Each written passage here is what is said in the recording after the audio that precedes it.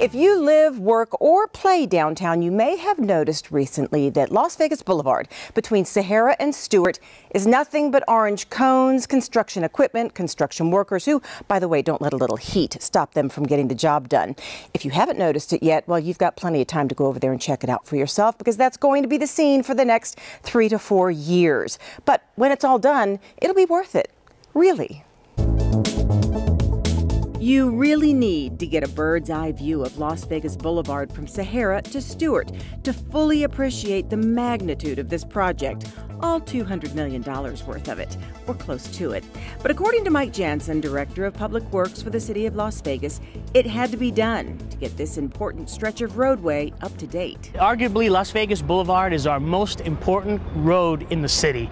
It's where 20 million plus tourists every year come downtown, and many of them start right where we're standing, right in front of the Stratosphere Hotel. Janssen says this project has been in the works for several years, and there are three main reasons it needed to be done starting with updating old infrastructure. Water District came to us and said, Mike, this is one of the oldest water lines in the city.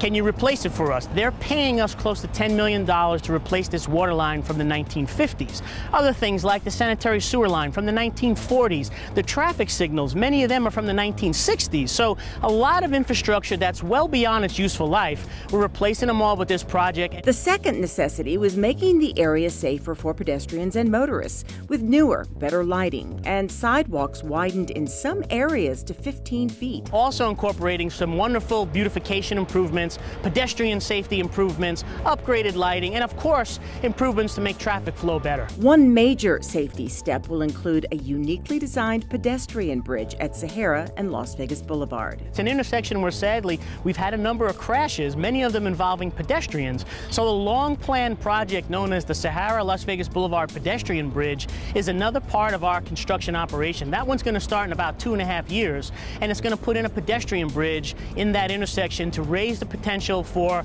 traffic to be able to get through that intersection without coming into any contact with the thousands of pedestrians that use that intersection daily. It's going to be a circular bridge as opposed to the bridges that are up and down the strip and Las Vegas Boulevard now are more traditional. The one we're planning for that intersection is going to be very unique. And the third reason for this project, well, it's attracting people to the amazing downtown part of our city by going big. We're putting up a new gateway feature right in front of the stratosphere here known as the Downtown Gateway Arch. It's going to be 75 feet tall. It's going to have hundreds of LED lights, have some great architecture tied to it, and it's just going to be that welcoming gateway for all those tourists that are coming into downtown. Here's how the nearly $200 million is broken down, and no, it is not all from the city's coffers. This project right here is about 110 million.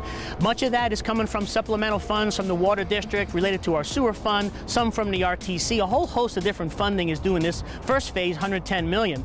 We have the Arch, which is a $6 million improvement. We have Las Vegas Boulevard North, which is about $50 million. And then the balance, about 40, 42 million is the pedestrian bridge at Las Vegas Boulevard Sahara. So all told, a total investment near $200 million over the next three to four years. So the next time your plans take you north of the strip and you run into what looks like a bumper crop of orange cones, dust, and hardworking men and women in yellow.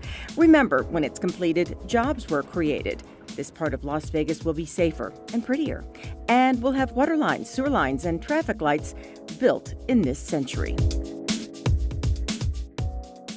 Mike Janssen says there were a lot of meetings with local residents and businesses to try to minimize inconvenience. Now, while this segment between Sahara and Stewart gets done, they're going to move north to Stewart all the way up to Washington.